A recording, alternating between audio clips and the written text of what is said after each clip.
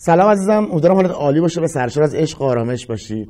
تو این ویدیو آهنگ ز دست محبوب رو به شما آموزش میدم. یکی از تصنیف های بسیار زیبایی است که استاد شجریان خونده و در این درس نکاتی رو یاد خواهی گرفت. مثل تکریز تکیه خطوط اتحاد اتصال و اینا رو یاد خواهی گرفت و این سری تکنیک های دیگه که در بین درس بهت یاد میدم.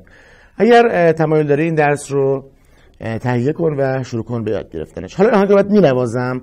با فضای آهنگم آشنا بشو.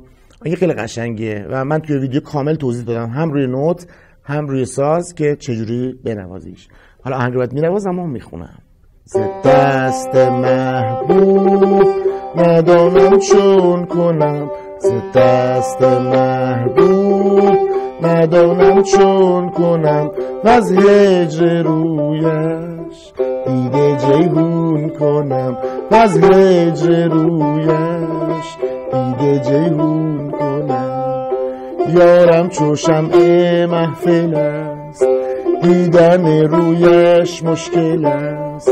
سرو مرا پا در گل است. بر خط و خالش مایل است. بر خط و خالش مایل است. یار من دلدار من کمتر تو جفا کن. یادی آخر تو زما کن. یادی آخر تو زما کن.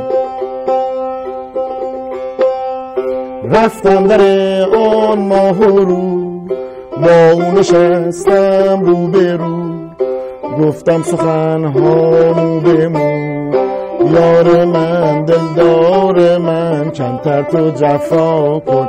یادی آخر تو زما کن. یادی آخر تو زما کن. یادی آخر تو زما کن. اینم از آهنگی ز محبوب. اگر تمایل داره که این آهنگ رو یاد بگیری حتما به وبسایت ما مراجعه کن. با آدرس www.notbenot.com قسمت آموزش تار این آهنگ خواهد بود و شما می‌تونی آهنگ رو تهیه کنی و یاد بگیری به طور کامل بعد توضیح میدم از روی نوت توضیح میدم بعد روی ساز و تکنیک ها و نکات مفیدش هم برات میگم. قدر خودتو بدون تا ویدیوی بعد خدا نگهدار.